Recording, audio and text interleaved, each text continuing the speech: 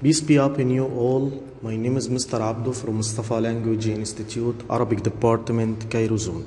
Today, inshallah, we will complete uh, Unit 10, Lesson 3 and 4.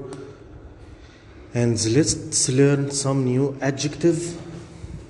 Repeat after me hungry, hungry, hungry, nervous, nervous, nervous, tired, tired, tired, sad, sad, sad, happy, happy, happy, embarrassed, embarrassed, cold, cold, disappointed, disappointed, hot, hot, proud of, proud of.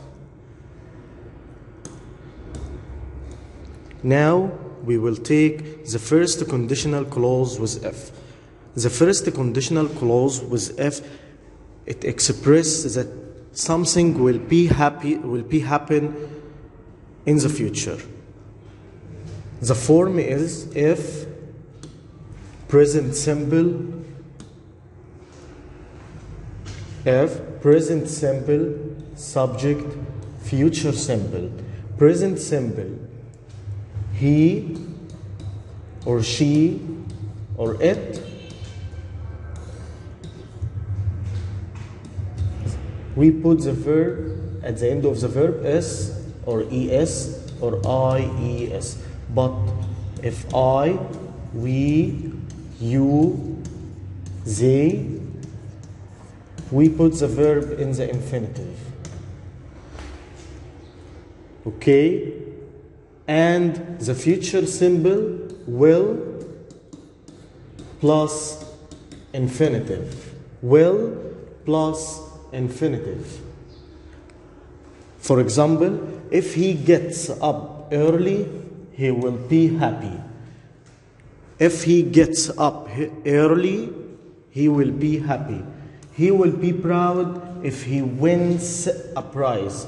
If he wins a prize he will be happy uh, will be proud sorry if he wins a prize. Will and the abbreviation is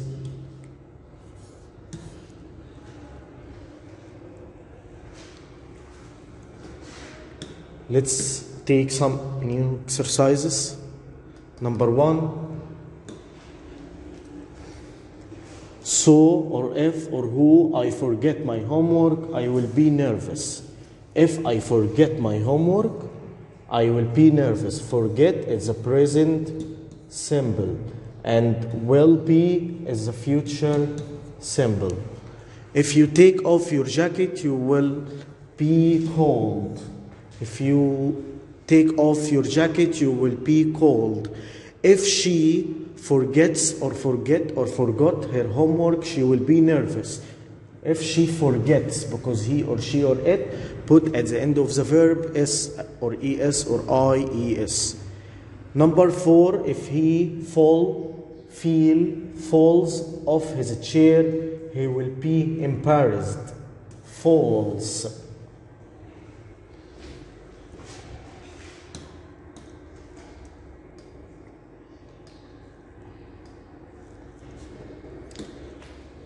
Circle the odd one out and replace it. Number one, nervous, proud, tired, drink. It's drink. And I will put hungry. Number two, when, made, get, lose. It's made. Because when and the get and lose is the present symbol and made is the past symbol. Make in, on, of, disappointed. At. Where, do, why, how, it's do, and I will put when. And the other questions is your homework. Let's complete to start lesson 4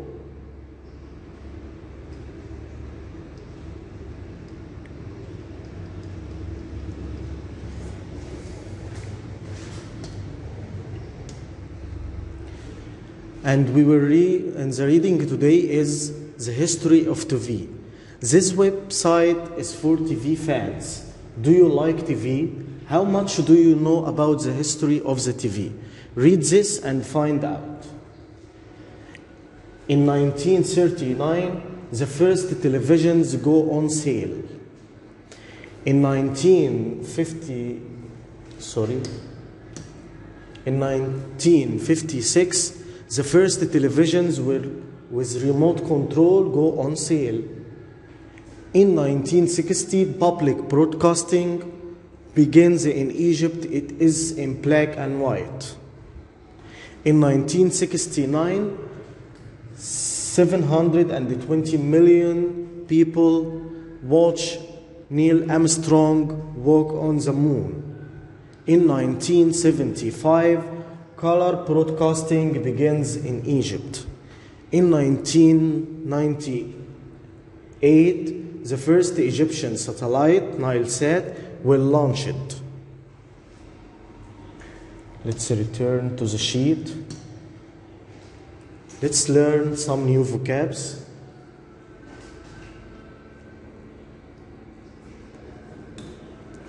Website, website, find out, find out, public, public, begin, begin, satellite, satellite, Egyptian, Egyptian, remote control, remote control, launch, launch, history, history, invent, invent, video games, video games, percent, percent, internet, internet, TV fans, TV fans, go on sale, go on sale, broadcasting, broadcasting, electric computer, electric computer, million, million, know about, know about.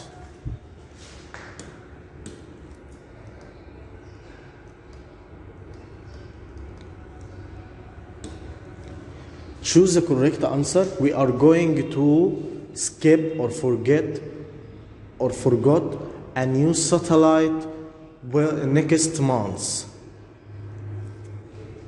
We are going to skip a new satellite next month. TV plays fans satellite like watching TV. TV fans like watching TV. Read this paper and find out the information. In 1960, public broadcasting began in Egypt. Public broadcasting began in Egypt.